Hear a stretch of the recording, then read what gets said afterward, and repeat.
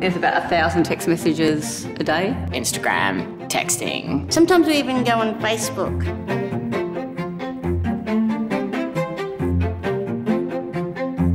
Wait, do we have to read them out? What's for dinner? We should eat and drink and let our beards blow in the wind. Poo on toast. This is absolutely average content. Okay. Can I ask you now to text each other what the other person means to you? Oh, okay. It's just a typical message, but it's very emotional. You're a solid dude and I appreciate everything about you. Can he read it? You are my best mate always. the butter to my toast. And I can't imagine life without you. I love you so much.